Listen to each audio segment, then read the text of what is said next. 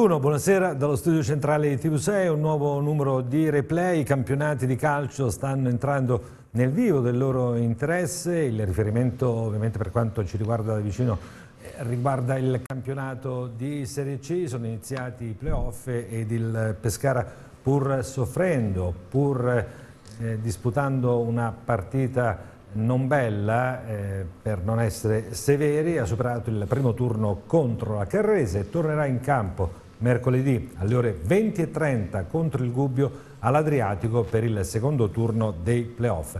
Parleremo ovviamente del momento dei biancoazzurri, di questi playoff che hanno già riservato qualche sorpresa, poi analizzeremo anche altri aspetti, vado a presentare subito gli ospiti di questa puntata, ritrovo con piacere il direttore sportivo Fabio Lupo, buonasera direttore, grazie per buonasera aver accettato il nostro invito, un bentornato in questo studio anche al collega Walter Nerone, buonasera Walter, buonasera, buonasera che seguiamo il giovedì su Rete 8 nella trasmissione di Pierluigi Vasile.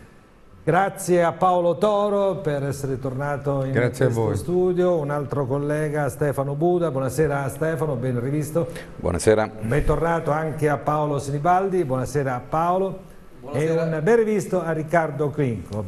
Mancano all'appello due nostri compagni di viaggio come Totò De Leonardis e Francesco Di Francesco che hanno scelto altre vie, purtroppo sono stati colpiti dal Covid, stanno bene, quindi torneranno presto tra di noi. Ritrovo anche Andrea Costantini, buonasera Andrea. Ciao Enrico, buonasera a tutti. Subito le novità della giornata in sintesi? Beh, in sintesi intanto l'orario della partita di mercoledì, Pescara impegnato nel secondo turno dei playoff, Pescara Gubbio si giocherà alle ore 20.30 all'Adriatico Cornacchia, gara secca, ma in realtà tutte le partite, anche Entella Olbia e anche le altre gare degli altri gironi, tutte alle ore 20.30. Poi se diamo uno sguardo alla Serie A, oggi è stato comunicato l'esonero al tecnico del Cagliari Walter Mazzarri, si va verso la soluzione interna, sarà Alessandro Agostini il nuovo allenatore del Cagliari, promosso il tecnico della eh, primavera. Eh, poi eh, per quanto riguarda invece il campionato di Serie C, tornando ai playoff, un Pescara che avrà a disposizione due risultati su tre contro la squadra di Torrente e poi se dovesse passare il turno affronterà ehm, una, una, squadra che uscirà da un sorteggio. Ebbene in questo momento il Pescara non è testa di serie, affronterà una testa di serie, quindi una delle tre terze, Feralpi Salò, Cesena eh, e Palermo, oppure il Renate, la sostituta del, eh, della Coppa Italia, oppure l'attuale migliore delle squadre dell'otto, che è l'Avellino, che però deve passare il turno e affronta il Foggia di eh, Zeman. Questo al momento è il quadro della ecco, situazione. C'è una possibilità che il Pescara possa diventare anche testa di serie? Una possibilità remotissima c'è, oltre che passare il turno il Pescara dovranno essere eliminate eh, sia la Virtus Entella sia sia eh, l'Avellino. In quel caso il Pescara sarà la migliore delle eh, partecipanti e dunque sarà la quinta testa di serie. Ci aggiornerei poi anche sul posticipo di Serie A. Che è sullo 0-0. Atalanta Salernitana si gioca da 18 minuti, 0-0 il parziale. A te. Allora, prima di iniziare a parlare di calcio giocato, vorrei che eh, Fabio Lupo ci mm, ricordassi così, ti chiedo un breve ricordo di Mino Raiola, un personaggio del calcio che ci ha lasciato nei giorni scorsi, ecco per voi uomini di mercato Raiola è stato spesso un punto di riferimento, conosciuto ovviamente anche qui in Abruzzo, per avere Verratti, ma soprattutto anche per altri motivi. Fabio. Sì, um, chiaramente un operatore di mercato determinato, per usare un eufemismo persona che sapeva che ciò che voleva e ci arrivava in qualsiasi modo lui ritenesse opportuno. E poi nelle pause di una trattativa è una persona di, di grande umanità, in grado di scherzare, di, di svestire questi, eh, questo, questi, panni così di, di operatore di mercato eh, senza, senza, scrupoli, perché poi dopo bisognava, bisognava, dirlo, che lui quando di fronte a una trattativa per difendere un proprio tesserato era, era in grado appunto di, adoperare tutte le strategie che riteneva, che riteneva opportune. E, come la storia dimostra, la maggior parte delle volte ha vinto lui queste C'è qualche episodio nel rapporto con lui, qualche trattativa, non lo so, che non è andata a buon fine oppure che è andata bene? No, mm, ripeto, quando ho avuto a che fare con lui qualche volta è andata bene, qualche altra volta è andata male, ma sai che quando entri con un avversario del genere, fra virgolette, sai ciò che ti aspetta e quindi metti in preventivo anche, anche una sconfitta anche quando pensi di avere la vittoria in mano. Andrea, c'è anche un episodio che è stato citato sì. a livello nazionale che riguarda il Pescara. Sì, ritrovato eh, un po' una pagina internet relativa a quel fatto davvero singolare eh, relativo al mercato di Geneo del 2013 quando il Pescara disputava la sua penultima stagione in Serie A nelle ultime ore di calciomercato sfumò l'arrivo a Pescara di Paitim Kasami che era assistito da eh, Mino Raiola, Furia Raiola intitolava la Gazzetta, saltato per colpa di internet questo trasferimento, problemi per la PEC, per l'invio della, della, mail, problemi relativi alla connessione nella struttura nell'hotel e quindi Mino Raiola su tutte le furie e saltò l'arrivo di Casami a Pescara. E questo è un episodio che ha citato anche Gianluca Di Marzio su Sky, quando gli hanno chiesto c'è stata una trattativa che ha fatto infuriare Raiola e lui ha proprio raccontato questo episodio riguardante il Pescara, Pescara con il quale aveva buoni rapporti, lo ha detto anche il Presidente Sebastiani, no? Assolutamente sì, diverse le trattative che mm, sono state intavolate nelle scorse stagioni, soprattutto quando il Pescara orbitava in Serie A o anche faceva stagioni ambiziose in, in Serie B e non a caso Pescara stesso ha voluto ricordare la figura di Mino Raiola con quella foto che ritraeva il Presidente Sebastiani, Mino Raiola e l'attuale DS del Paris Saint Germain Leonardo. Allora, passiamo al calcio giocato, parto subito da Lupo, coinvolgo un po' tutti quanti, in questi playoff la sorpresa è stata l'eliminazione eh, dell'Ancona e poteva esserci anche la sorpresa negativa del Pescara.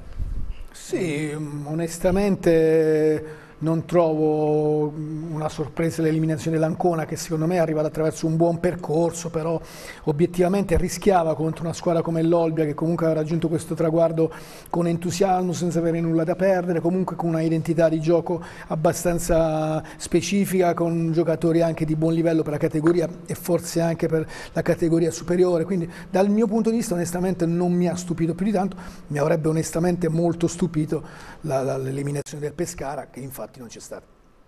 Ti ha stupito la prestazione non positiva? Devo essere sincero, non mi ha stupito quel tipo di prestazione perché è una tipologia di prestazione che la squadra sta tenendo dall'inizio del campionato. È una squadra, io l'ho detto più volte, alla quale non si può rimproverare nulla sul piano dell'impegno, della professionalità, ci mancherebbe che sia chiaro questo però è mancata sempre quella punta di cattiveria, di partecipazione agonistica tante volte, mm, certamente non favorita dall'ambiente che c'è intorno alla squadra, parliamoci chiaro, insomma poco pubblico, un'atmosfera fredda, piatta e la squadra sembra quasi essersi adeguata a questa, a questa così, atmosfera eh, così piatta ed è una squadra, per ripetere di nuovo questo aggettivo, emotivamente piatta. Non ti dà mai la sensazione che prende in pugno la partita, la, la, la, la segue. Poi le qualità dei singoli calciatori, perché comunque è una rosa di buon livello, ti consentono di tirare poi a casa, portare a casa il risultato. Walter, quando dicono da Auteri a Zaurio non è cambiato nulla, sicuramente c'è un fondo di verità, no? Perché le prestazioni erano eh, negative prima, anche se c'è stata anche qualche buona partita sotto la gestione eh, Auteri, quindi vado subito alla domanda, cosa ti aspettavi da Zauri che non è arrivato? Non me ne voglia da Zauri, ma non mi aspettava nulla di più. Eh, per due semplici motivi. Uno, Zauri per quel poco diciamo, che ho potuto vedere non è l'allenatore che si inventa chissà che, allora in quel caso dice chissà cosa si inventa questo, o Zeman di turno per, per, per, usare un nome abusato a Pescara, chissà che si inventa questo, gli può andare bene, gli può andare male. Secondo me Zauri invece è il classico mezzofondista, il tipo che lavora, che imposta, che riflette, che medita, quindi onestamente non mi aspettavo grandi colpi, Certo, anche me a un certo punto, diciamo a 90 minuti dalla fine, il terzo posto sembrava quasi dovuto, mm, non era solo, dire, non era solo nella disponibilità del Pescara, però il punto dolente è appunto quello di cui si diceva adesso, una squadra che non ha mai, dico mai, in 38, adesso sono 39 partite, partite sì. non ha mai dato la sensazione, tranne 20 minuti con il Montevarchi, che non mi pare una referenza altissima, di poter gestire una partita, controllare l'avversario e decidere come e quando colpire. E allora come sono spiegabili le buone prestazioni offerte eh, a Modena in casa con il Cesena? Sono ovviamente situazioni sporadiche. L'avversario che ti fa allora giocare perché ma di, di, personalità più che di testa direi io. Eh, L'avversario che ti fa giocare, siccome delle qualità ci sono qua, giocatori di livello per la categoria, forse un paio anche per la categoria superiore, ci sono, quindi un avversario che ti fa giocare, che non ti tratta da Serie C, eh, probabilmente ti consente di far Quindi vedere qualcosa. perché anche con la Reggiana essere più facile sotto questa aspetto paradossalmente sì poi ovviamente dipende dall'avversario che trovi. Però vorrei dire eh, anche con la Reggiana il Pescara ha fatto una bella partita e con l'Entella in casa che non a caso diciamo, queste migliori partite appartengono a tutti gli incontri con le, le, le, le, migliori, le prime della squadra, cioè le uniche che non sono venute qua a subire. In pochi secondi ha detto questo Zauri a fine partita. Io mi prendo di buono quello che, quello che detto alla fine, cioè il passaggio del turno, che è la cosa più importante. Da quando sono arrivato, l'ho detto ai ragazzi, cercherò il vestito migliore per ogni partita, eh, anche, anche, a costo di essere un po' bruttini, non fa niente, c'è l'avversario che gioca bene a calcio, l'abbiamo visto, quindi loro hanno fatto la loro partita, noi abbiamo fatto la nostra perché dopo, a fine ogni partita sentiamo parlare sempre delle stesse cose, ma il Pescara ha creato, il Pescara non ha subito e basta, il Pescara ha creato, ha subito anche le situazioni, sì, sono d'accordo con te, però io ogni volta mm, sembra che abbiamo vinto tutte le partite 10 a 0, non succederà mai, cioè è impossibile, te lo dico già adesso. E, quindi abbiamo sofferto, ti ripeto, sì, però non ho visto una squadra eh, morta e l'altra viva. Due squadre che si sono giocate, eh, chiaramente la loro, la loro, partita deve essere diversa dalla nostra perché comunque noi potevamo anche pareggiarla come si è visto, quindi probabilmente loro hanno dato qualcosina in più dal punto di vista dell'atteggiamento, cosa che non deve succedere perché insomma, stiamo giocando la, eh, insomma, una bella fetta di, di, di campionato. Insomma. Sarò contento solo io e la squadra ovviamente, ma eh, io mi prendo il risultato che è la cosa più importante nel calcio, quindi andiamo avanti così. Scusa, a proposito di condizioni di giocatori, Ferrari qualche problema fisico sarei un folle se lasciassi, eh, lasciassi fuori Ferrari. Certo, certo, ma è un problema fisico. Eh, tanto è vero che ha provato a scaldarsi e è rientrato subito perché non, eh, non stava bene. Ferrari è il nostro, il nostro bomber, il nostro, attaccante, il nostro attaccante che ha fatto la differenza fino ad oggi, ma oggi insomma c'è da fare i complimenti a questo ragazzo che ha fatto due gol. Andiamo subito da Andrea Costantini, che novità c'è Andrea?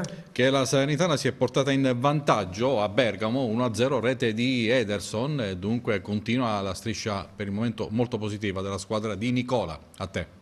Allora Fabio, questo atteggiamento soft della squadra a livello mentale, anche a livello tattico, è figlio soltanto, come dicevi tu, di una condizione ambientale, però potrebbe sembrare un alibi per, per la squadra.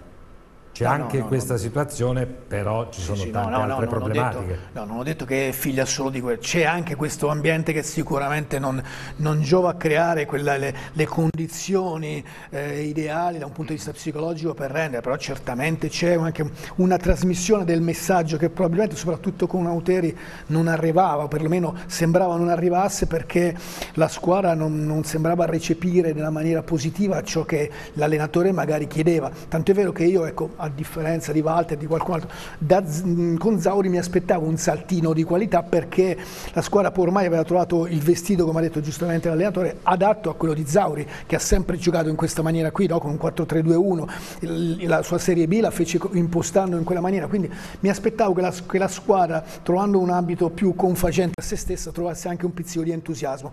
E invece non, non, non l'ha trovato, però speriamo che appunto lo stimolo dei grandi avversari sia in grado di dargli questa spinta emotiva. Che vi aspettavate voi Paolo, da Zauri come novità? Paolo?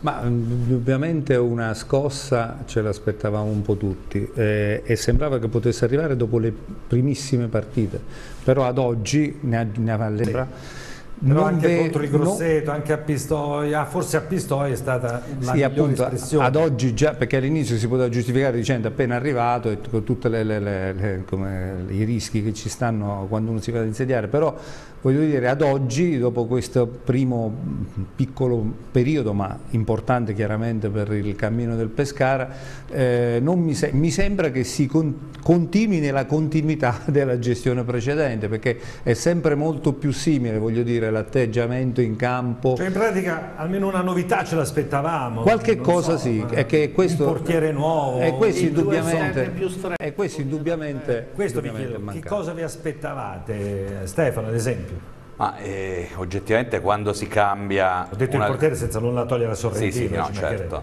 Ma quando si cambia un allenatore, insomma, tre giornate dalla fine, è ovvio che non è mh, possibile aspettarsi Eh, diciamo, stravolgimenti da un punto di mettersi vista. Esatto, eh, il problema è questo, è è legato secondo me proprio al profilo dell'allenatore, cioè nel senso eh, da Zauri non mi sarei aspettato una sterzata come poteva, eh, co- come, come arrivò ad esempio con Oddo quando sostituì Quindi Baroni. caratterialmente dici? Ecco, alle- non, è, eh, non, ha- non è nelle sue corde diciamo, eh, il- la figura del motivatore, del- dell'allenatore temperamentale alla Oddo, alla Pillon, con idee di gioco diverse, ma che vanno ad intervenire, che vanno, eh, insomma, allenatori che entrano nella testa dei giocatori e che sono in grado di accendere quella luce che evidentemente Euteri per un intero campionato non è mai riuscito ad accendere. Paolo, tu già ti sei espresso ieri, vuoi ripetere un po' il concetto che Vabbè, ci hai diciamo, illustrato? su- sulla- sull'impatto di Zauri praticamente non, non c'è stato, cioè, per adesso non c'è stato, dobbiamo augurarci che ci sia stato qualcosa C'è nel... stato un impatto di fortuna che non è poco perché Ma io la ieri- squadra io- già, almeno quella, no? Io, io ieri proprio insieme a Andrea Costantini più volte abbiamo, abbiamo parlato di questo aspetto, cioè la fortuna fa parte, fa parte della vita, fa parte del calcio, nel calcio spesso è decisivo, spesso e volentieri, quindi se Zauri ha portato questa botta di fortuna ci prendiamo questa perché, perché fa parte del calcio e ci può portare direttamente nelle fasi che contano nei playoff. Tu Riccardo che botta vuoi? Io vorrei vedere onestamente dall'allenatore una squadra diversa. Quando parlava Fabio Lupo eri completamente d'accordo, è un pensiero che hai già espresso nelle Sì, precedenti sì, sì, puntate. assolutamente d'accordo con, con quello che ha detto il direttore, totalmente. Però io- noi parliamo sempre dell'allenatore, ma dimentichiamo che in campo vanno loro. E devo dirti che la cosa che ieri mi ha indispettito, e uso questo termine, è che quando eravamo in svantaggio 2 a 1, solo Pompetti ha cercato di dare una scossa, gli altri erano, non ho visto lì, perdi, stai giocando una finale, fai qualcosa, invece siamo rimasti con questa flemma e questa cosa mi ha fatto molto pensare. Poi abbiamo pareggiato per un episodio, potevamo anche vincere, potevamo anche perdere la partita. eh.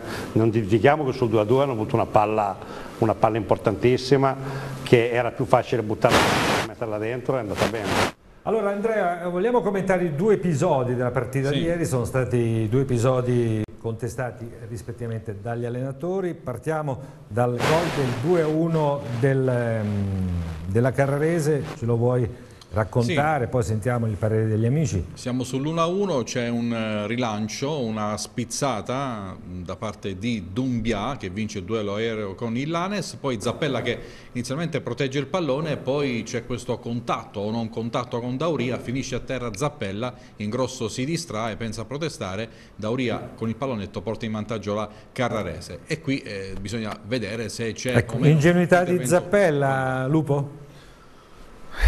Sì, sicuramente la palla va coperta, va coperta meglio, con più sicurezza, forse il portiere può guidare, può dire qualcosa, anche il suo compagno che è vicino, anche in grosso, può dare qualche indicazione. Mi sembra che sia stata troppo per scontata. Ecco, in queste cose qui, dico io, manca quella determinazione.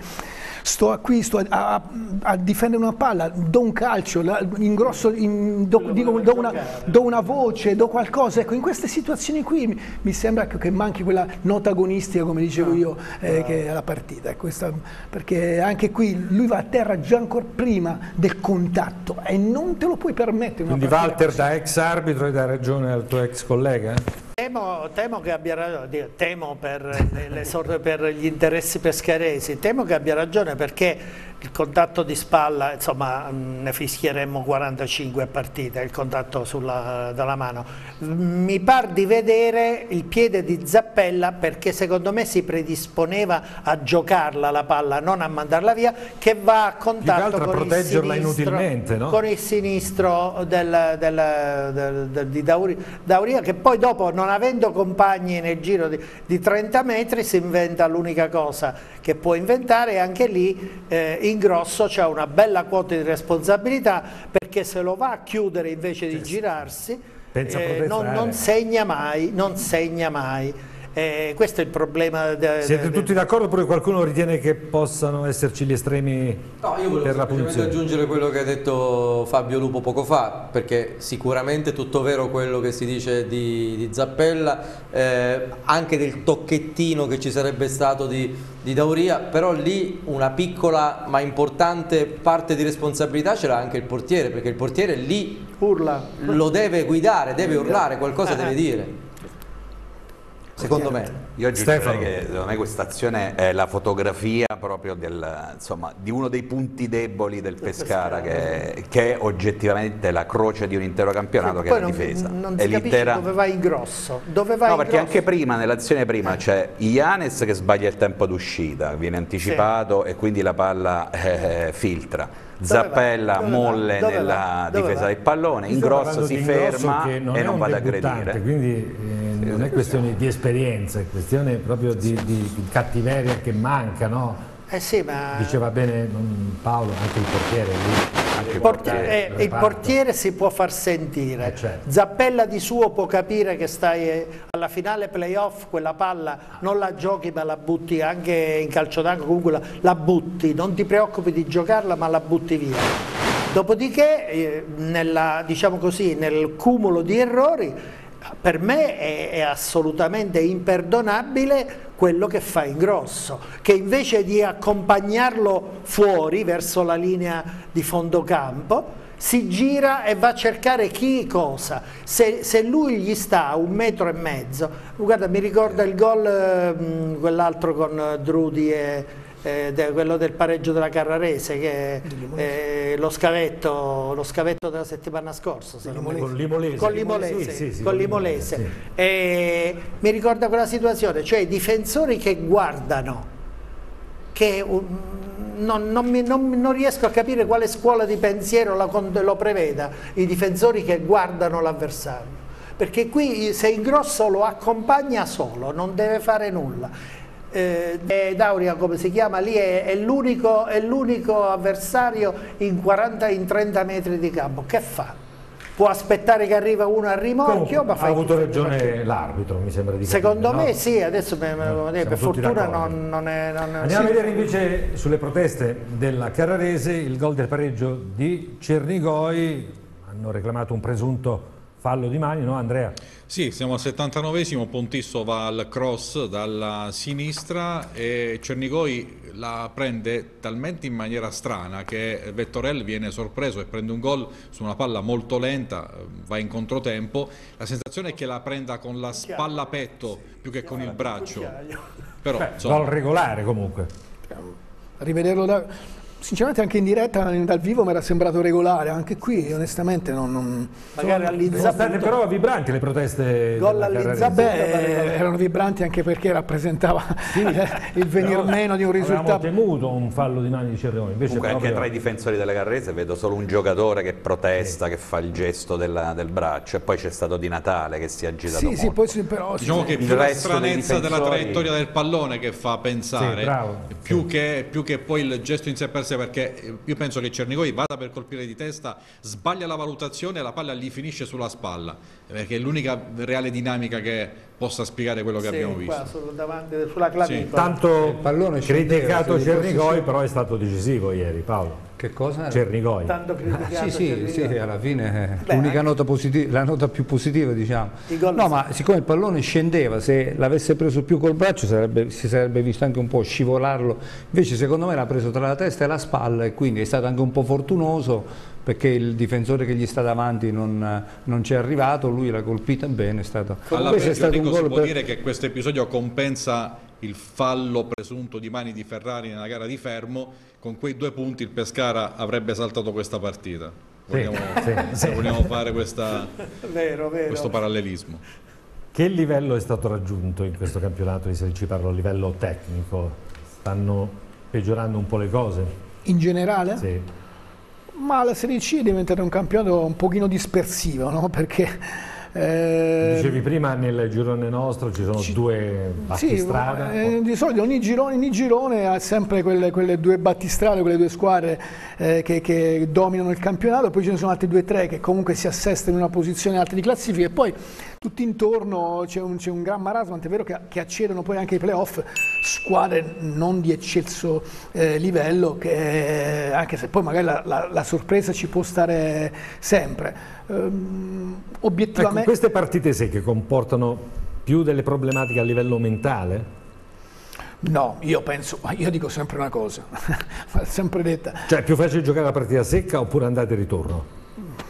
Ma guarda, la cosa fondamentale è stare bene fisicamente. Quando stai bene con le gambe, allora puoi andare a giocare fuori casa, dentro casa. Non, non è quello. Spe spesso si fa no, il discorso, ma in queste partite conta di più l'esperienza. Così io tante volte per, così, per, per autoironia dico, se contasse l'esperienza giocherei ancora anch'io, no? Invece no, eh, ci, vogliono le, ci, vogliono le, gambe per giocare, soprattutto queste partite qui. Perché se sbagli rincorri, perché se, se c'è un errore lo, lo, puoi, lo puoi rimediare quello che conta moltissimo è la condizione, la condizione fisica, quella che fa realmente la, la, differenza, secondo me, in queste partite. Che poi nella fase cruciale della partita, ieri Zauri ha inserito i giovani, ha inserito Giambò al posto di Deriso che ha più esperienza, quindi ha ragione Luco, l'esperienza conta fino a un certo punto, sì. ha messo dentro eh, Rauti che è entrato bene, lo stesso Nzita altre volte ha fatto peggio, insomma questa squadra fisicamente, lo dice anche Zaro in conferenza stampa, ha delle problematiche proprio per degli infortuni, un po' anche per la condizione.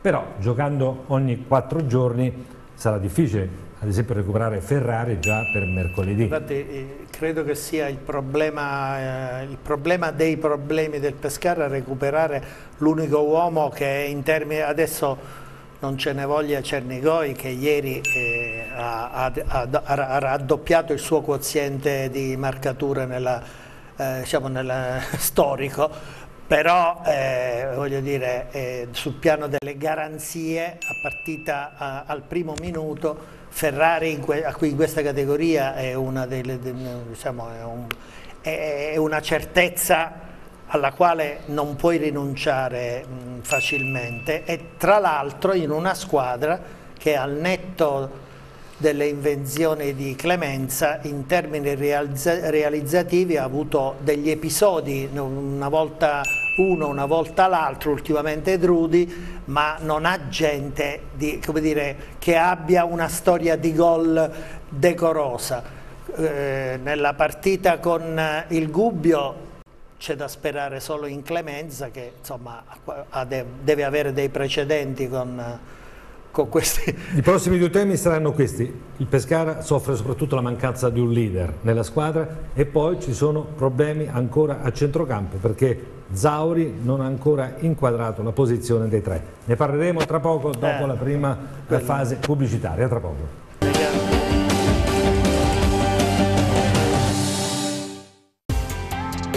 Notti d'Oro, in corso Umberto I 310 a Montesilvano, ha aperto un nuovo store di oltre 1000 metri quadrati di materassi dei migliori brand internazionali. Dorelan, Dorsal, Simmons, Manifattura Falomo. Inoltre troverete una vasta esposizione dei migliori marchi, quali Bontempi, Noctis, Le Comfort, Samoa. Da Notti d'Oro conviene. Notti d'Oro, corso Umberto I 310, Montesilvano. Parlare con i tuoi amici, sentire il suono delle loro risate e in lontananza il rumore del mare. Ascoltare i consigli di chi condivide la tua passione, il tuo lavoro. Rispondere con sicurezza ai loro dubbi. Tutto questo è più vicino di quanto pensi, perché i professionisti dell'udito Maico sapranno guidarti verso la soluzione più adatta per il tuo benessere. Da più di 60 anni facciamo del nostro meglio per farti sentire bene. Ritrovare il piacere di ascoltare è semplice. E tu? Cosa aspetti? DZ Insurance Sport. Oltre 25 anni di esperienza nelle coperture assicurative nel mondo dello sport. Prodotti altamente mirati per atleti professionisti. Un team specializzato per ogni disciplina sportiva o di qualsiasi altro settore a livello internazionale. Questa è la DZ Insurance Sport. Zampa corta? Assicura lo sport.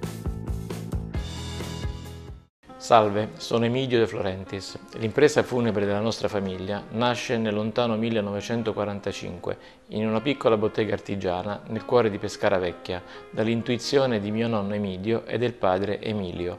Da quel momento, da 72 anni, la tradizione continua e dal 1995 io e mio padre Alfredo abbiamo aperto la nostra impresa che a Pescara ha sede in via Spaventa, nella zona dello Stadio Adriatico. Emidio e Alfredo De Florentis.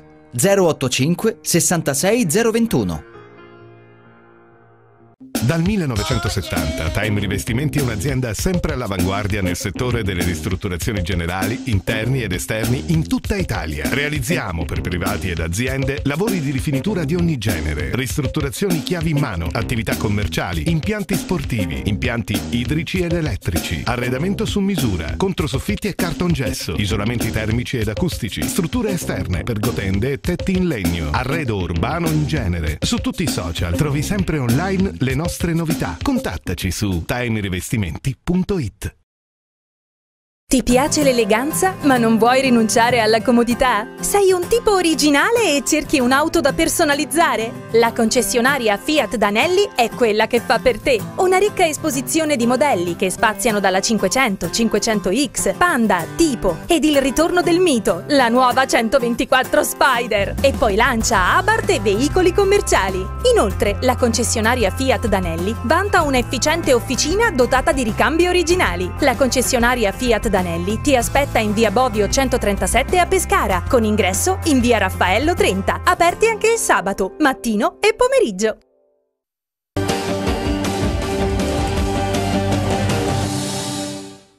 Ore 21.34 Andrea a Bergamo, sempre Salernitana. È finito il primo tempo, è finito il primo tempo, Salernitana sempre avanti 1-0, gol di Ederson. A te. Fabio, quanto ti sorprende questo momento della Salernitana? Sì, obiettivamente c'è stato un momento in cui sembrava veramente che fosse lontana da ogni possibilità. È vero che Nicola è un maestro in questo tipo di imprese perché riesce a creare un'empatia con la squadra più sul piano morale direi addirittura che sul piano tattico. E ti entra dentro. E ti entra veramente dentro, ha, argomenti diciamo fra virgolette anche personali no? per entrarti dentro e riesce a trovare questa sintonia con la squadra la squadra ha tutto veramente oltre quello che può, che può dare anche se poi tatticamente non, non, ti, non, puoi innamorare di una squadra di Nicola però raggiunge risultati, ha, ha sfiorato già altre salvezze, l'ha raggiunta a Genova, l'ha raggiunta a Crotone, a Torino, insomma è, è un allenatore che ha questa grandissima capacità e, riesce a portare la, la, spesso... Stefano, allora questa storia che manca un leader nella squadra può essere un uh, motivo valido anche sull'atteggiamento generale?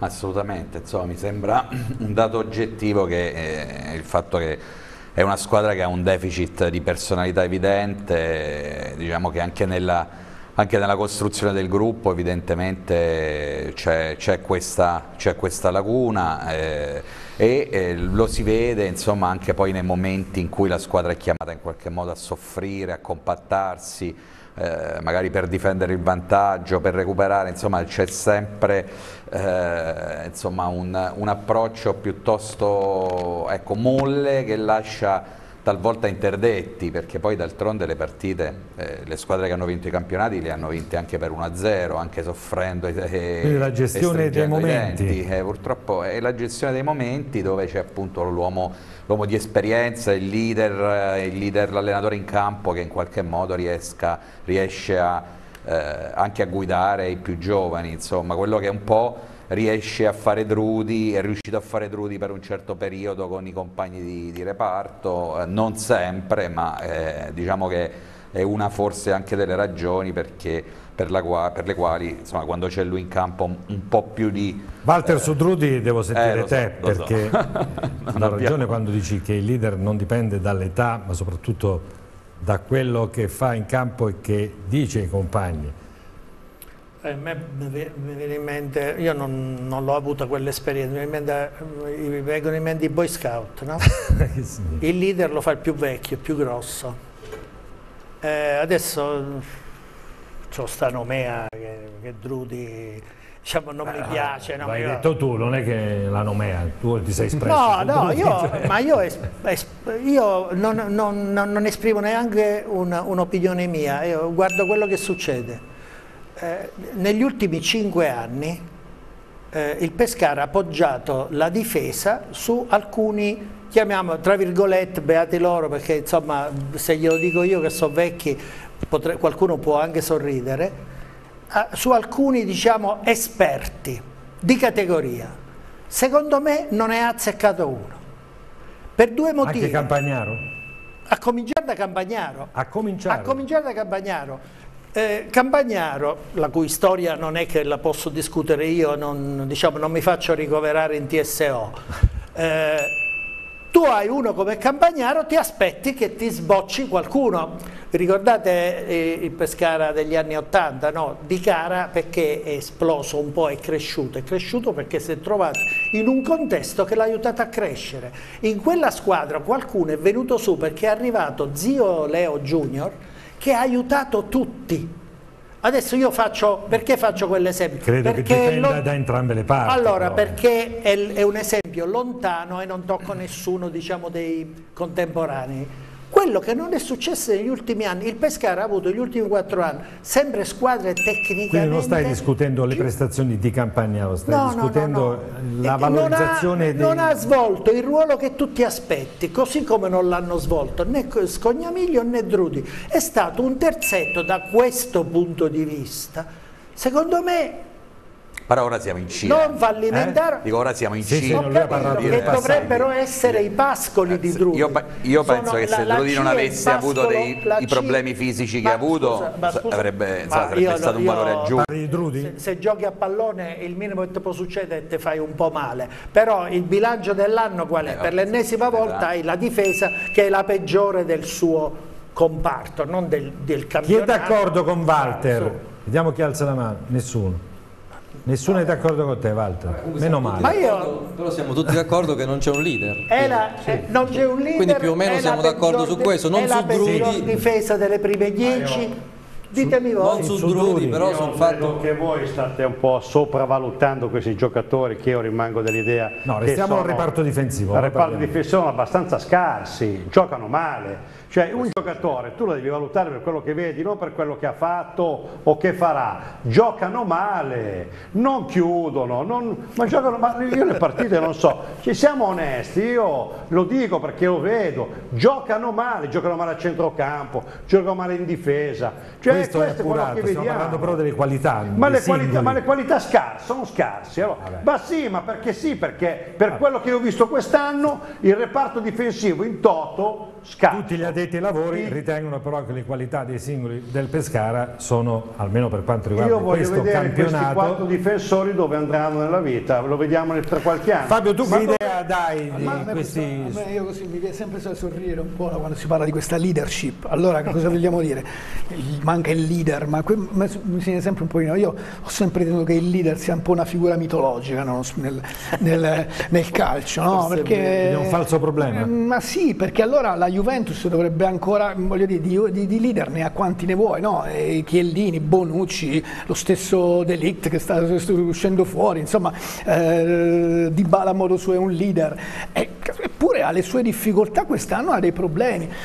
Io penso che mh, ridurre tutto, secondo me, al discorso di leadership, eh, io lo trovo sempre un po' un, un esercizio così, che ci sta, che è così, però mh, che secondo me non c'entra il problema. Il, il problema. I problemi secondo me sono più generali, sono problemi spesso, io parlo a livello generale, spesso magari sono problemi gestionali del gruppo. Io credo molto per esempio nel- nella, nella- nella gestione da parte dell'allenatore, della società, più che della leadership del singolo, del singolo Sì, calciatore, che sicuramente, che sicuramente può aiutare determinante perché abbiamo visto, abbiamo visto vincere e vediamo tuttora vincere squadre che poi mh, se vogliamo il Milan sì ha Ibrahimovic fuori dal campo poi dentro al campo non è che ha questo leader No, no. eppure, eppure sta vincendo un campionato la stessa, la stessa Inter ha un leader tecnico che può essere Brozovic o anche lo stesso Dzeko ma non è che rispetto a quel tipo di livello lì abbia questo leader che si staglia su tutti quanti io credo che sia sempre un discorso di componenti, che va dalla componente tecnica alla componente gestionale dell'allenatore, alla componente gestionale della società. Ci sono tanti aspetti che vanno, che vanno curati e di fronte ai quali la singola leadership non riesce, riesce ad incidere fino ad un certo punto, come dimostra la Juventus di quest'anno. Adesso non, non cito un caso così. Riccardo, volevi aggiungere qualcosa? No, volevo dire, ti, parliamo di un giocatore di clemenza no? che ti alterna ogni tanto delle, delle, giocate e poi scompare, fa delle, delle prestazioni disarmanti. Quindi un allenatore che allena, che io vengo anche nel tuo discorso, ma un allenatore che, ha, che deve allenare clemenza, se che tu lo metti in campo, ha fatto una presta, delle prestazioni inguardabili, dove ti alterna magari la settimana dopo delle giocate. Tu allenatore cosa fai? Lo fai giocare, non lo fai giocare? Perché non c'è continuità, non c'è un giocatore... Se non avesse avuto questa discontinuità avrebbe fatto altre categorie, per eh, le qualità capito. tecniche del calciatore. Tante volte per accontentarti di avere questo giocatore in categoria devi accettare anche questa discontinuità, perché sì, se non avessi avuto questa discontinuità non l'avresti avuto. di questi giocatori, lui dice giustamente gli addetti ai lavori ne parlano bene, ma io ti dico la verità, per quello che ho visto quest'anno, faccio un esempio per farmi capire, ieri Foresta, un illustre sconosciuto, nella Carrarese, quando giocava si vedeva che ha qualcosa più degli altri, noi tranne Pompetti e Ferrari, ti dico questi giocatori che hanno fatto vedere qualcosa di più, qualcosa anche in termini di volitiva, di voglia, gli altri sono eh, di un livello medio. Cioè proprio... Ma io sono d'accordo con te, però al di là della qualità tecnica del giocatore, questo è un altro aspetto, no? Eh ma caspita la qualità tecnica viene fuori a un certo punto, cioè tu puoi essere quanto vuoi, ma se, quali se hai qualità tecnica, in, in certe, in certe, cioè tu sei un difensore e ti fai andare via gli uomini come vediamo andare via noi, tutta questa qualità tecnica onestamente non la vedo. Oh, con tutto per quanto riguarda i problemi a centrocampo, Paolo ne parlavamo anche durante la, la pubblicità, eh, Derisio, Pompetti, Pontisso, Auteri nella sua gestione aveva trovato una collocazione probabilmente più ideale alle caratteristiche dei singoli. Sì, probabilmente sì, era forse il reparto dove aveva lavorato meglio, tra virgolette. E... Reparto che è cambiato a gennaio perché Pontiso e Deriso hanno Esattamente, sono arrivati, sono arrivati, con la, con la campagna di gennaio. E, secondo me ovviamente i tre centrocampisti di oggi sono di livello per la categoria e forse anche potrebbero ambire anche qualcosa di più e vedo anche bene oggi come oggi, forse non so se il, um, il ruolo che è stato affidato a Derisio perché mi sembra che nel, pur non essendo tecnicamente eh, all'altezza di Pompetti diciamo, nello, eh, nello smistamento, nei mhm. lanci, cioè, però secondo me abbina bene la copertura con, eh, come devo dire, con l'appoggio sicuro, sbaglia poco, eh, recupera, quindi secondo me in quel ruolo dei tre... Ma, ma, il, problema il problema del Pescara è la creatività del centrocampo che non inventa come dice giustamente, cioè vanno bene i passaggi, cambi di gioco, passaggi laterali, passaggi orizzontali. In verticale difficilmente si arriva a più di, di due o tre passaggi consecutivi, quindi quella è, è l'unico creativo è allora, È tutto vero quello che stiamo dicendo, però, però, ricordiamoci sempre che siamo in Serie C, non è che le altre squadre no, bene, offrano ma... prestazioni sì, ma non è nemmeno... tecnico infatti, cioè, non è nemmeno, spessore, eh. Scusa, però, questo in generale, però non è, non è tutte le lacune che ha il Ce l'abbiamo negli occhi alcuni flash, Pompetti Clemenza, Clemenza sì, Pompetti, sì. due o tre azioni finite Ma anche in gol, ce l'abbiamo negli occhi, la creatività la puoi vedere anche in Serie C, non Scusa, è che devi non è, aspettare. Non è nemmeno logico che con le squadre con cui ho sofferto il pescare, quelle diciamo di medio livello, fra cui anche la Carrarese, cioè che si dispongono con una diciamo, chiusura, no? una copertura difensiva, tu ti vai sempre a infrangere e, e trovi un'enorme difficoltà per Carrarese cercare di scardinare. Il possesso palla rispetto eh? a noi ieri, eh? Allora, Fabio, su questo reparto dipende dalle caratteristiche dei, dei, singoli che sono tutte diverse, però c'era il problema play, Zauri ha provato prima Pontisso che nasce play, adesso c'è Derisio, però si sacrifica un po' Pompetti sull'esterno, Pontisso che ancora trova una giusta collocazione, nascono lì molti problemi?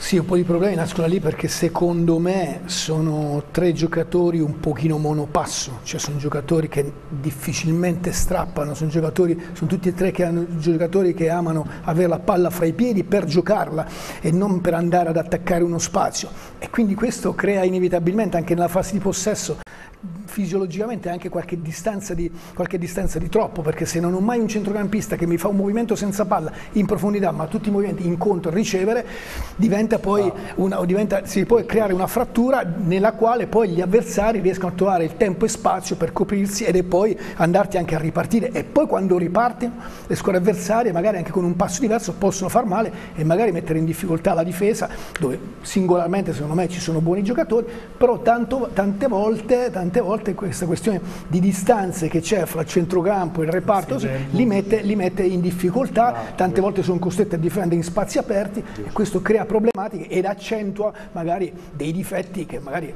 ci sono i giocatori però il Grosso e Drudi è una signora coppia in Serie C. Eh, il Grosso l'ha dimostrato anche lo dimostra anche Drudi e le alternative sono, sono, sono molto buone perché anche lo stesso Ianes è un buonissimo giocatore sugli esterni, in Zappella sono buoni giocatori però secondo me il problema del centrocampo è un problema che in qualche modo poi si va a riverberare un po' su, tutti, su tutto l'altro, ma per una questione non di valore del singolo calciatore, perché sono tre buonissimi giocatori, ma per una questione di caratteristiche. E anche in avanti c'è qualcosa da rivedere sulle posizioni, non tanto su, sull'impiego di quello, quel giocatore. No, ma le posizioni per certi, aspetti, per certi aspetti, sono anche quelle corrette, perché tutto sommato eh, Dursi è un giocatore abituato, no? per, per, questa ragione Auteri lo aveva portato, abituato a giocare fra le linee sì. in un 2-1. No, mi che... riferivo più alla posizione di Clemenza. Sì, Clemenza, però Clemenza comunque da lì riesce a, a trovare delle, delle, delle giocate eh, che di qualità, e poi ripeto, è sicuramente un giocatore discontinuo, ma se non fosse stato discontinuo non si sarebbe trovato, sarebbe trovato in Serie C quello che potrebbe essere forse utilizzato con uno scaglionamento magari anche diverso, ma questo chiaramente sono cose che l'allenatore deve vedere, e che può, ha una percentuale realizzativa più e un, così, un'incidenza di pericolosità, come si dice, potrebbe essere Rauti secondo me è un giocatore che ha delle, delle, qualità, anche stando vicino a una punta strutturata come, come Ferrari o, o, lo stesso, o, lo stesso, Cernigoi, è un giocatore che secondo me eh, potrebbe fare meglio per se stesso e per, e per la squadra. Cernigoi, chi vuol parlare di Cernigoi? Paolo?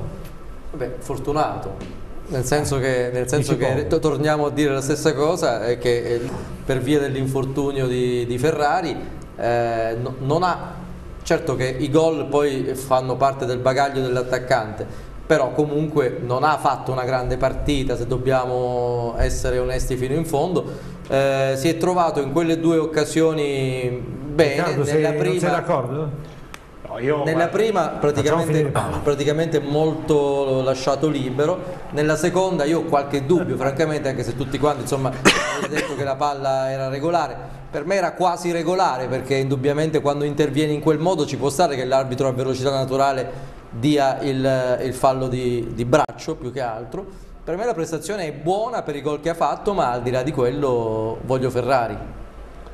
Che difficilmente Andrea sarà in campo mercoledì?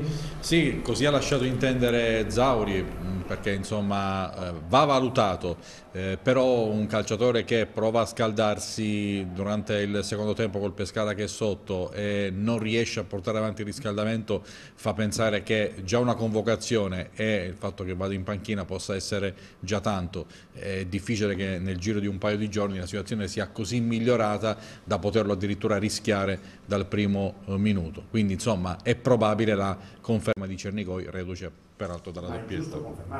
Cioè, ragazzi, anche perché non ce ne sono deve fare gol. Cioè, ha fatto due gol, ma, ma anche solo nell'entusiasmo. È un giocatore che è stato anche abbastanza criticato da, da tutti, compreso da me. C'è anche l'opzione cioè, Rauti centravanti. C'è anche eh, l'opzione. Però questo ragazzo entra in campo, fa due gol, che è il suo lavoro. 8 in, in pagella, 10. Ha fatto due gol, ma, ma scherziamo non si può criticare, anche se in tutta la partita non ha, non ha, toccato una palla. Ha fatto due gol, ha fatto non il suo dovere, molto di più. È come il portiere che riceve un tiro e la para e lui ha fatto gol. E il suo lavoro è quello. Poi che non torna, che non rientra, ha fatto gol, ne ha fatti due, di mano, di petto, va bene tutto, ha fatto gol. Un grande applauso a questo ragazzo e io lo confermerei addirittura sull'onda del fatto di fare due, anche se Ferrari al di là perché è, sull'onda dell'entusiasmo che dobbiamo anche cercare di, di, di trovare una soluzione. anche se Ferrari sta bene. No, se Ferrari sta bene farei giocare Ferrari, eh, però certo, poi no, io no, no, ha giocato bene, no, ma diamogli, non possiamo dire, eh, come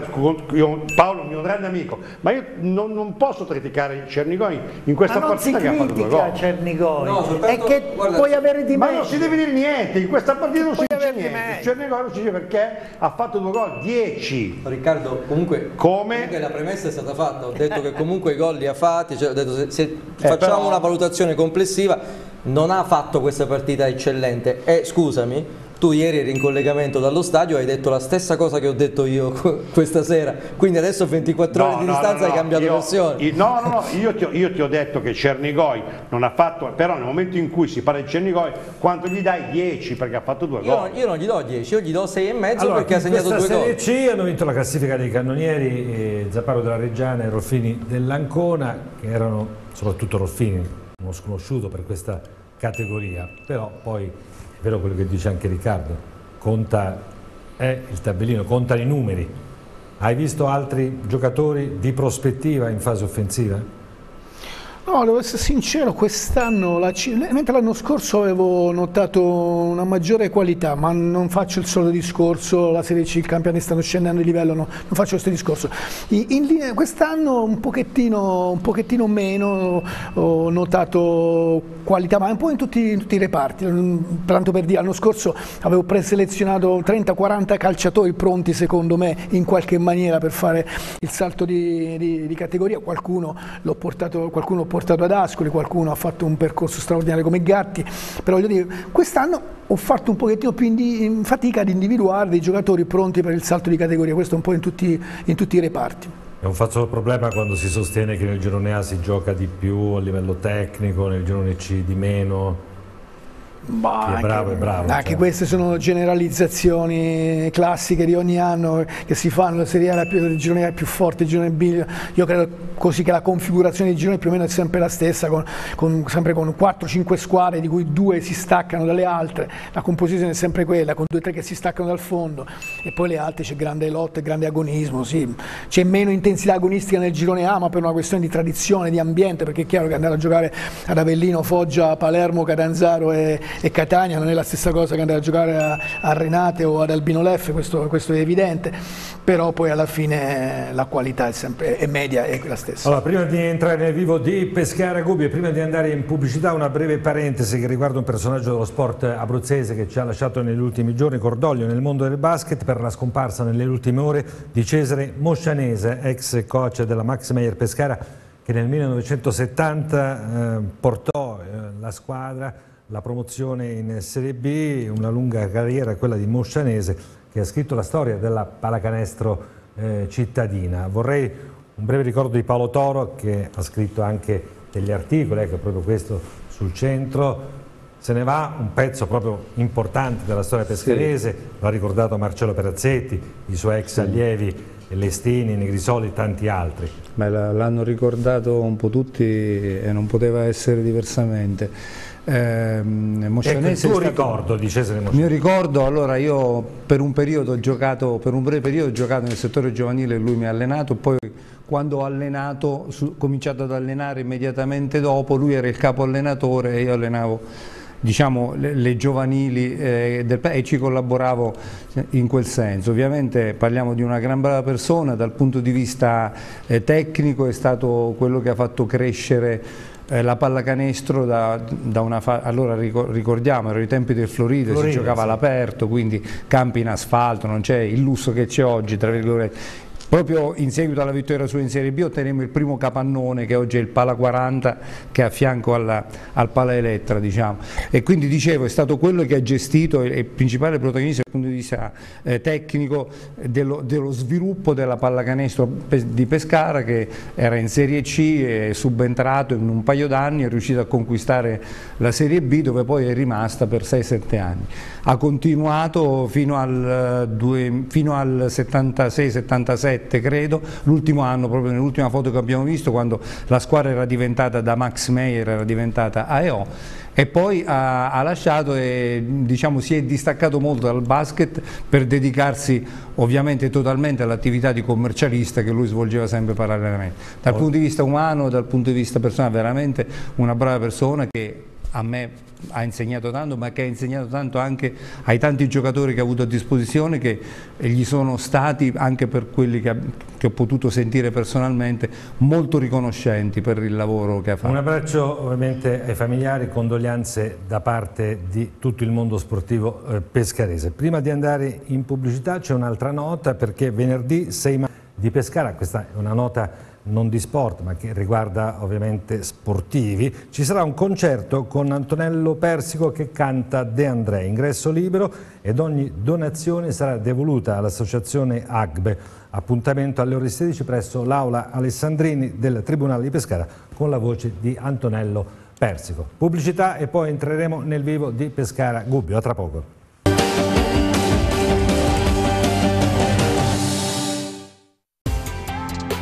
Notti d'Oro, in corso Umberto I 310 a Montesilvano, ha aperto un nuovo store di oltre 1000 metri quadrati di materassi dei migliori brand internazionali. Dorelan, Dorsal, Simmons, Manifattura Falomo. Inoltre troverete una vasta esposizione dei migliori marchi, quali Bontempi, Noctis, Le Comfort, Samoa. Da Notti d'Oro conviene. Notti d'Oro, corso Umberto I 310, Montesilvano.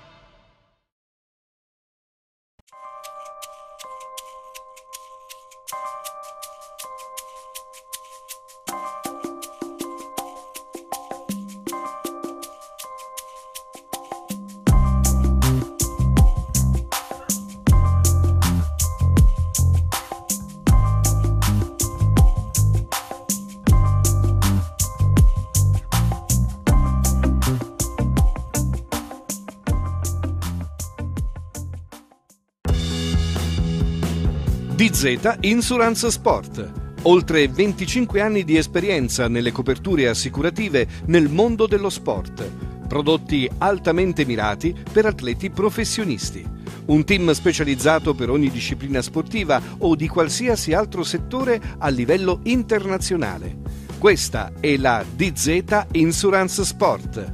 Zampa corta? Assicura lo sport. Dal 1970 Time Rivestimenti è un'azienda sempre all'avanguardia nel settore delle ristrutturazioni generali, interni ed esterni in tutta Italia. Realizziamo per privati ed aziende lavori di rifinitura di ogni genere, ristrutturazioni chiavi in mano, attività commerciali, impianti sportivi, impianti idrici ed elettrici, arredamento su misura, controsoffitti e cartongesso, isolamenti termici ed acustici, strutture esterne, pergotende e tetti in legno, arredo urbano in genere. Su tutti i social trovi sempre online le nostre nostre novità. Contattaci su timerivestimenti.it. Salve, sono Emilio De Florentis. L'impresa funebre della nostra famiglia nasce nel lontano 1945 in una piccola bottega artigiana nel cuore di Pescara Vecchia, dall'intuizione di mio nonno Emilio e del padre Emilio. Da quel momento, da 72 anni, la tradizione continua e dal 1995 io e mio padre Alfredo abbiamo aperto la nostra impresa che a Pescara ha sede in via Spaventa, nella zona dello Stadio Adriatico. Emidio e Alfredo De Florentis 085 66 021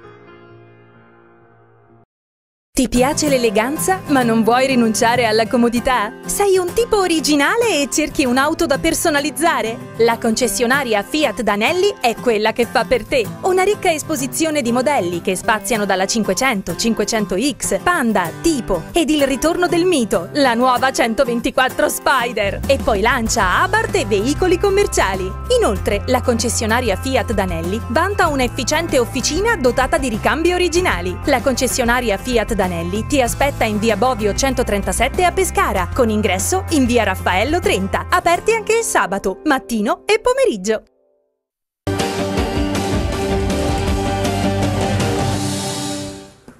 Ore 22 e 4 minuti, torniamo in diretta. Andrea, novità da Bergamo? No, non ve ne sono, Salernitana sempre avanti 1-0 a Bergamo, ma più volte vicino al raddoppio Musso sta tenendo in piedi l'Atalanta. A te.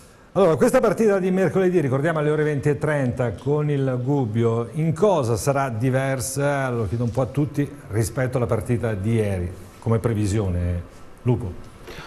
No, la Carrarese gioca con più, con più ordine, più, um, occupa un pochino meglio gli spazi nel, nel, nel, nel campo, è distribuita meglio. La, il Gubbio, soprattutto fuori casa, fa partite prevalentemente difensive, si, si abbassa per ripartire, quindi è una squadra che è un pochettino più complicata da attaccare, tant'è vero che nei primi minuti il Pescara con, con la Carrese ha trovato subito gol.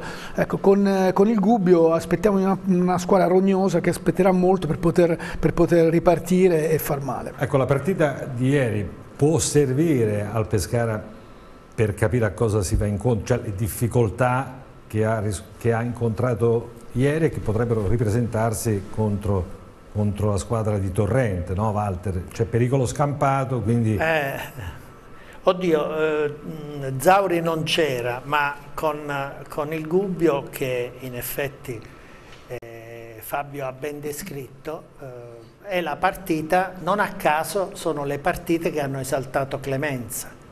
Il tiro da fuori, eh, comunque l'uomo che arriva per, per cioè, concludere. scusami se ti interrompo, sarà più difficile eh, far gol al Gubbio o alla Carrarese? Sul, sulla carta è più difficile far gol al Gubbio, però in campionato il Pescara il Grimaldello l'aveva trovato perché gli ha fatto uh, gol sia all'andata che al ritorno. Il problema è che poi se gli dai il contropiede il Gubbio secondo me è molto più velenoso della, della Carrarese quindi non gli devi dare il contropiede, quindi devi gestire, come si dice, lo spazio dietro, la, la squadra la devi accorciare e, devi sapere che è un avversario che ti potrà anche concedere spazio sui 30 metri, ma negli ultimi 20 è complicato entrare. Ecco, Zauri prima di questi playoff sosteneva che le insidie maggiori erano le prime due partite, perché poi la squadra poteva sciogliersi o trovare probabilmente meno difficoltà,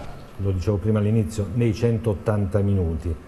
Tu Paolo che chiave di lettura dai a questa, questo pensiero? Secondo me eh, importante prime, sono importanti le prime due perché si cambia completamente clima, clima si passa chiaramente da, da, un clima nel quale c'è tempo per recuperare invece a, a, invece a giocare delle partite da dentro fuori, per cui sicuramente dal punto di vista psicologico è una cosa completamente diversa che merita di essere affrontata con un piglio diverso rispetto alle partite del campionato, cosa che non si è vista nella, nella partita, nel pericolo scampato della partita con la Carrarese. Quindi io mi auguro che primo, eh, questa prima partita che è andata bene tra virgolette dal punto di vista del risultato ma per il resto ha lasciato abbastanza a desiderare mi auguro che possa aver sortito qualche effetto positivo. Non so se può rappresentare un alibi, ma molti sostengono che le grandi squadre soffrono contro le piccole, quelle che ti fanno giocare Questo poco. È quello che non è il caso però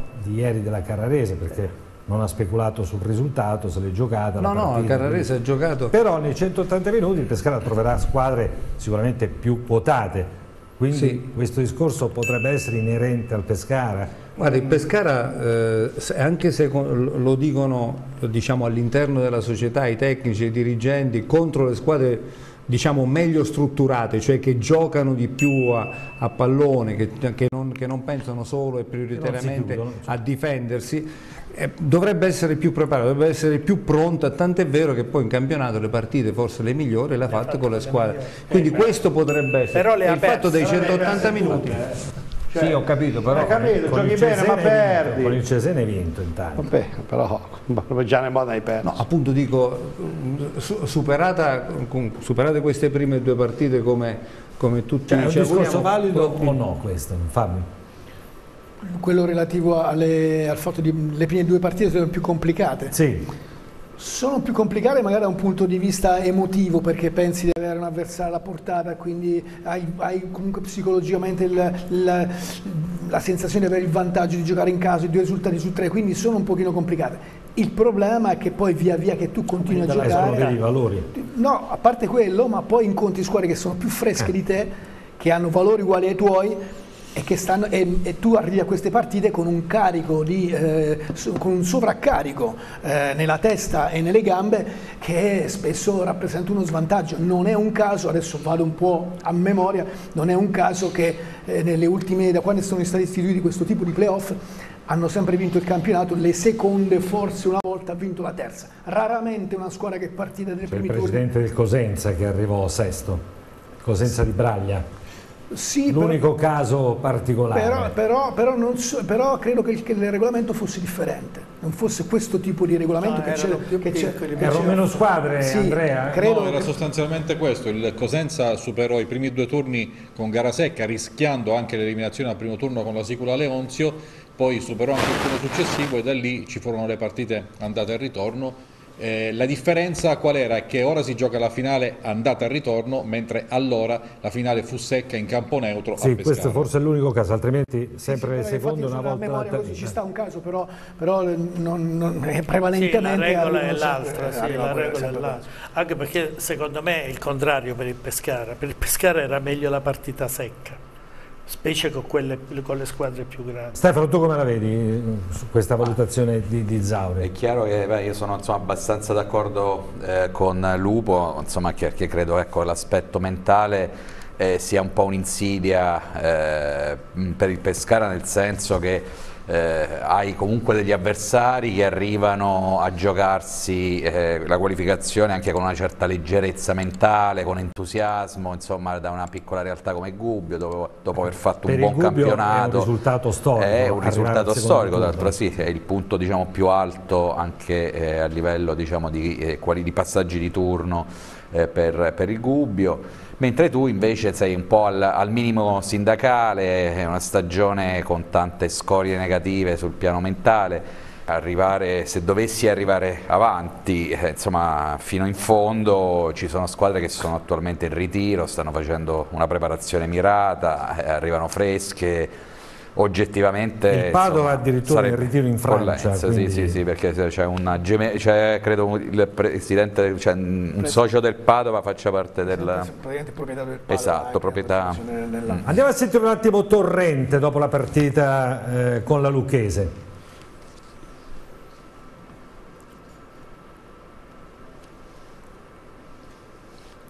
abbiamo dei giovani bravi durante il nostro percorso quest'anno hanno fatto, hanno fatto bene. Oggi ho scelto qualche giocatore più esperto ma sicuramente la prossima può giocare anche qualcuno più giovane per la freschezza e per la spensieratezza che hanno e per le loro soprattutto qualità. Avevamo tutti eh, da perdere soltanto noi perché avendo due risultati a favore eh, c'era il rischio di, di compromettere la, la, partita. Anche questo un po' di inconscio, di ansia da parte dei ragazzi c'era soprattutto nel primo tempo. Questo è un problema che non avrà mercoledì no, perché infatti eh, dobbiamo, dobbiamo soltanto, abbiamo soltanto un risultato e quindi dobbiamo giocare con intelligenza ma usare sicuramente qualcosa in più. Adesso dobbiamo recuperare energie fisiche e nervose perché fra pochi giorni rigiochiamo, rigiochiamo di che, nuovo. che, che, che cronoprogramma è? Pescara, Pescara. Ecco. è ufficiale. Eh, Lodi ha vinto 2-0 ok. E fa lo stesso? Sì. Pescara in tella? Fa lo stesso, oh, fa lo stesso. Uh, diciamo che la differenza sono due squadre che all'inizio della stagione puntavano alla promozione. La differenza è il campo il blasone. Il campo, il campo eh, a Chiavari eh, c'è il sintetico e, e questo è, è, un vantaggio più per gli altri, mentre a Pescara giochiamo contro il blasone, uno stadio bellissimo, contro una squadra forte, però ci sono tutti gli stimoli, tutte le motivazioni per, per far bene. Noi di solito con queste squadre durante l'anno abbiamo fatto sempre bene, sperando di far bene anche mercoledì. Ci proviamo sicuramente. Beh certo, a questo punto non è no, no, no, vogliamo senso, vincere, no? cioè, che, che ci andiamo a fare. No, no. Giustamente, che vengono a fare altrimenti? Giocare contro il blasone è un motivo in più per le altre squadre? Sì, Assolutamente sì, soprattutto quando non hai nulla da perdere come il Gubbio, perché se arrivi così come è stato anche per la Carrarese, ti la giochi serenamente, dai il massimo e la responsabilità è più di chi invece come il Pescara a blasone è anche un vantaggio così che tutti gli riconoscono e psicologicamente l'approccio è più complicato.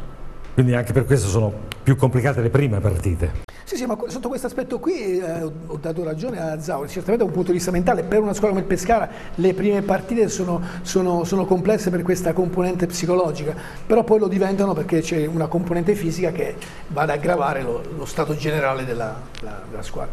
Riccardo, sorridi perché già sai che il Pescara passa il turno no, e quindi... perché sono partite difficili che giochi male e passi il turno, poi arriva il terzo turno, giochi bene e vieni eliminato. Hai già dato la sentenza. Se giocano così sì. Assolutamente, te lo dico, se giocano così sì, col dubbio passi, poi incontri una squadra che ti fa giocare un po' di più e giochi magari anche un po' meglio, ma non passi il turno. Che allenatore è Torrente, Fabio? Un allenatore che all'inizio della sua carriera, così soprattutto poi quando era a Bari, sembrava avviato ad una carriera, eh, una carriera, differente. Lui aveva un po' come marchio di fabbrica questo 4-3-3 abbastanza applicato, difensivo, che ti ripartiva. E poi si è un pochettino perso, adesso ha ritrovato una sua serenità, un suo equilibrio a Gubbio, però è un allenatore che abbina una grande esperienza da calciatore, ha una buonissima esperienza anche da allenatore, quindi anche in grado... Quale soffriamo? Anche in grado che di... partono veloce, noi... Sì, sì, ma poi le sue squadre hanno quel tipo di caratteristica anche agonistica. No? Avete notato uno Zauri diverso rispetto a quello di due anni fa? Paolo, Stefano e l'altro Paolo? Eh, sostanzialmente no. Molto, molto prudente, molto mh, con, sen, un allenatore che parla poco, preferisce parlare poco, non fa proclami molto, quindi molto misurato e credo che questo poi si rifletta anche nel modo di gestire il gruppo. Però di differenze sostanziali, no, quello che ricordavo e a livello di gioco di allora, Ma sicuramente aveva insomma, una qualità maggiore eh, a disposizione, tra l'altro era una squadra che eh, aveva potuto plasmare eh, lui fin, fin, fin dal, dal ritiro eh, aveva trovato eh, insomma, con la chiave di volta con Machine in stato di grazia in, nella, anche Galano, Machine Galano e Galano soprattutto che ha fatto diciamo, la migliore stagione sì. degli ultimi anni eh, proprio sotto la sua guida ecco, eh, ed era un Pescara che aveva fatto anche delle belle partite aveva fatto anche delle buone gare. Io onestamente in queste gare eh, insomma, che ho visto sotto la gestione Zauri non ho visto una particolare impronta eh, tattica eh, da, da, dal suo punto di vista, cioè da questo punto di vista. Eh, anche lui nelle, dalle dichiarazioni insomma, sembra quasi dire eh, a volte insomma, lo ha ribadito proprio esplicitamente in più occasioni insomma, la, noi siamo questi, questa è la squadra e, e si cercherà insomma in Paolo? qualche modo ma guarda è un allenatore giovane, io forse l'ho visto meno evoluto di quello che pensavo rispetto a qualche anno fa. Qualche anno fa, eh, nella metà campionato più o meno che aveva fatto, aveva lasciato un, un segno, tanto che diciamo, tutti gli allenatori che erano venuti dopo avevano eh, quasi tutti deluso o comunque reso loro come allenatori al di sotto di Zauri.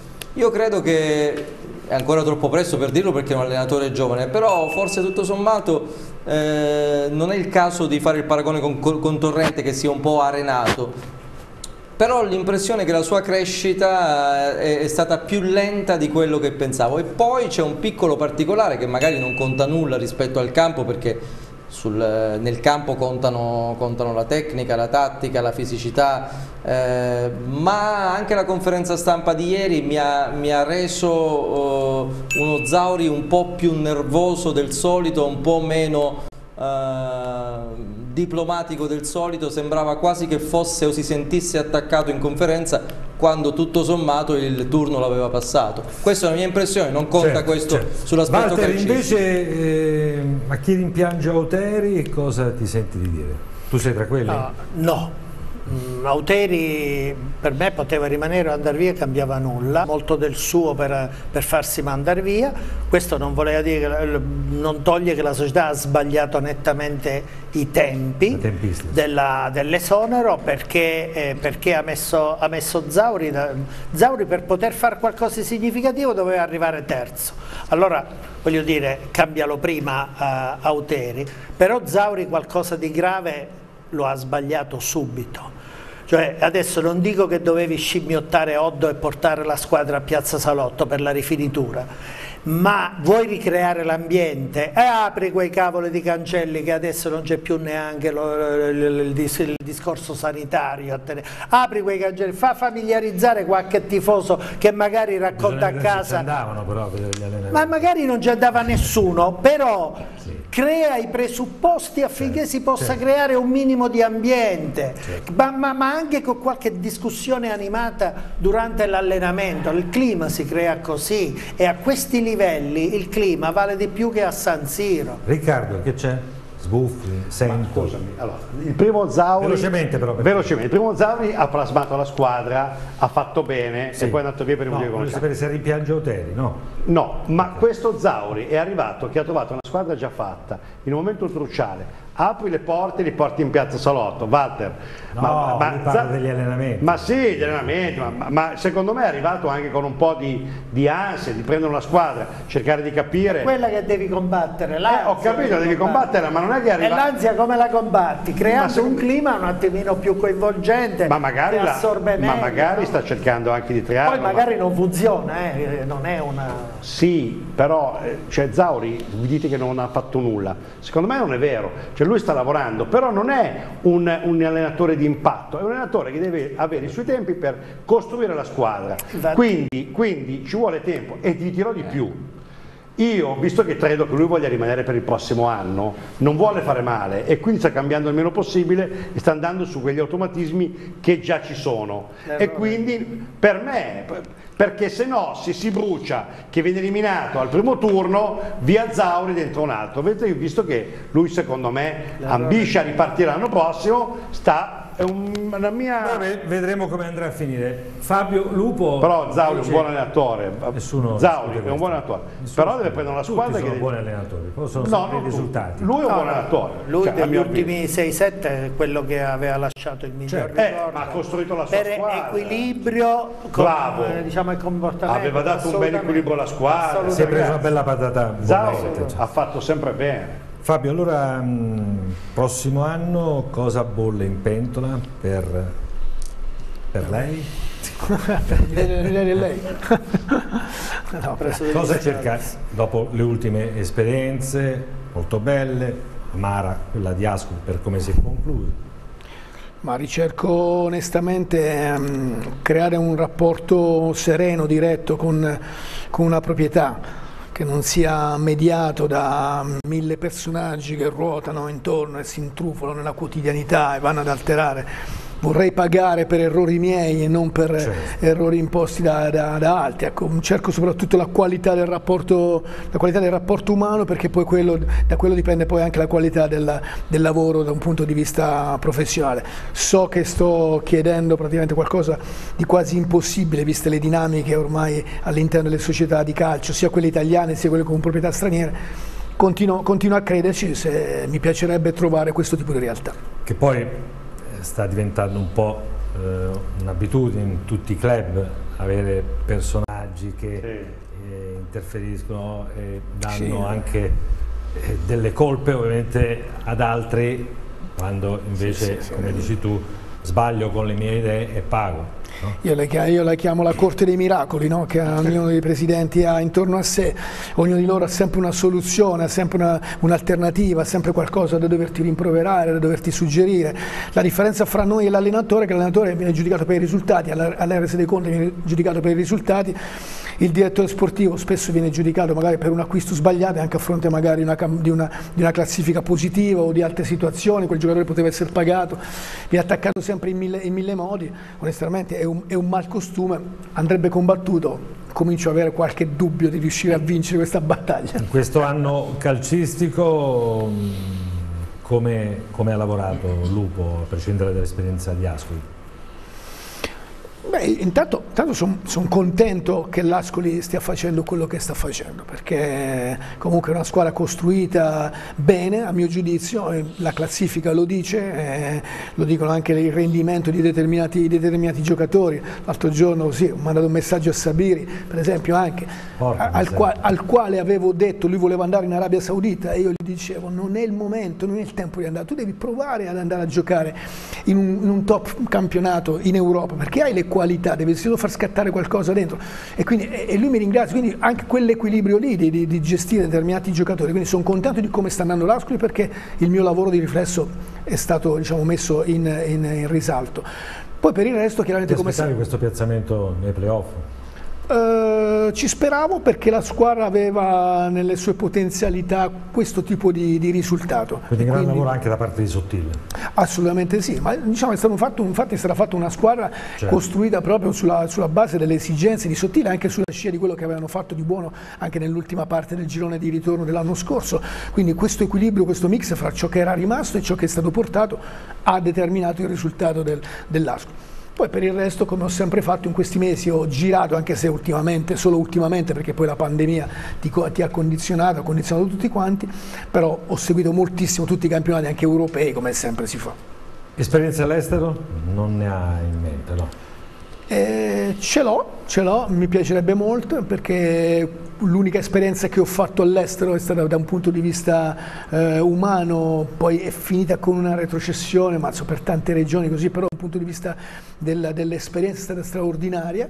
Eh, ogni tanto, devo, devo, essere sincero, ogni tanto arriva qualche, qualche richiesta da, dall'estero, qualche voglia di, di, di, di, dialogare, questo mi favorisce un po' il parlare un, un inglese assolutamente in, insentibile, ma che è sufficiente per farmi distinguere da, da qualche mio collega. Walter, perché il Pescara non ha mai messo gli occhi addosso su Fabio Lupo? Lo chiediamo sempre, però sta qui. Ma, beh, mm, ma mica solo con lui, perché a Pescara in questo anche la piazza non, non aiuta la società qualche tentativo con no, personaggi. Non deve aiutare la società, la società che sceglie. No, beh, no, in questo caso, cioè, paradossalmente eh, la società è più permeabile di solito, con Sebastiani un po' di meno ma di solito la società è più permeabile agli umori eh, quando si parla di, di, di direttori sportivi a, a, livello di quadri intendo sì, dire, sì. non di giocatori. E che Pescara, Pescara c'ha il naso, è inutile dircelo. A Pescara eh, difficilmente si è disposti a perdonare qualcosina se poi è uno col quale magari rischi di vederti la mattina al bar ancora di più. ancora di più. Questo è un limite. Qualche volta è stata anche una forza di questa città quello di sposare certe cause di sposare certi personaggi di farli di coinvolgerli. Perché tanti rimangono? Perché alla fine se si crea, se si crea il feeling sì. con Pescara poi è difficile sganciarsi. Però ecco con i suoi figli è non è, severa.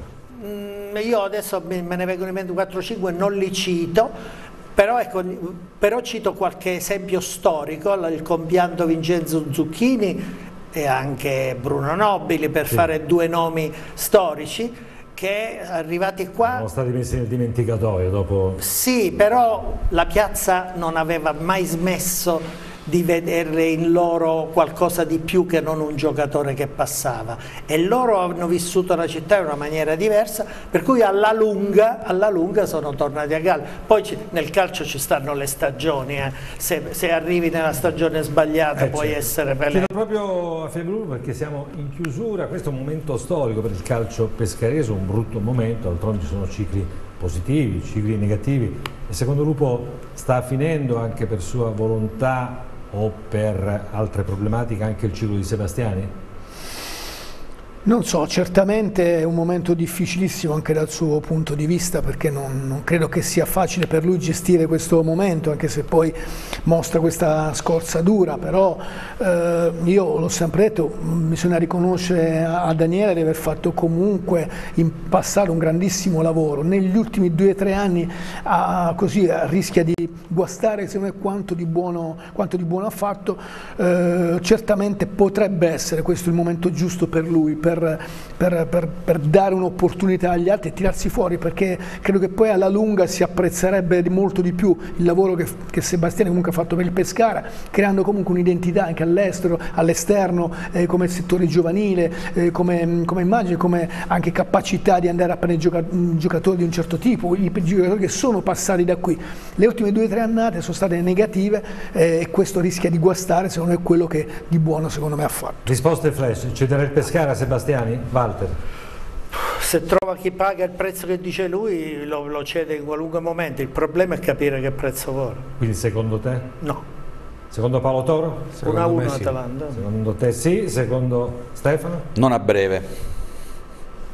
Cioè, che significa non a breve? Cioè, non, non è l'immediato, eh, non, non, non sarà un'operazione che andrà in porto nell'immediato a questo punto. Paolo? No. Okay. Riccardo? Assolutamente no. Allora, prima di chiudere mandiamo un particolare saluto alla signora Donatella La Monaca in Danolfi, perché questo nome? Perché ha compiuto 84 anni e da 41 anni è la regina della cucina presso il ristorante La Paranza Pescara, noto ritrovo di sportivi e non. La signora Donatella è la cuoca più anziana eh, d'Italia dopo una vita di sacrifici, di rinunce, soprattutto dopo la scomparsa del marito Raffaele. Classe 1938 continua a dirigere il Fornelli ed è un esempio per i figli Maurizio che abbiamo visto inquadrato nella foto, Sergio, Paola e Massimo. Auguri alla signora Donatella da parte di tutti noi. Assolutamente. Eccoli qui. Allora Andrea, eh, parziale, dobbiamo chiudere qui, non daremo il finale di Sam allora ha pareggiato, di... ha ah, pareggiato l'Atalanta, ha finito anche il Cech, ha pareggiato con Pasaric all'89esimo, dunque 1-1 al momento tra Atalanta e Salernitana. A te. Mercoledì appuntamento? Alle ore 20, alle ore 20 per da TV6, la partita alle 20.30. Eh. Assolutamente sì, poi la partita alle 20.30 vi terremo compagnia fino al post match come nostra abitudine. A te. Grazie a Fabio Lupo, in bocca al lupo per la tua eh, carriera, grazie a Walter Nerone, a Paolo Toro, a Stefano Buda, a Paolo Sinibaldi e a Riccardo Clinco, ringrazio Loris Benata alle telecamere, Maurizio De Qui in regia con replay, ci rivedremo lunedì prossimo, grazie per averci scelto.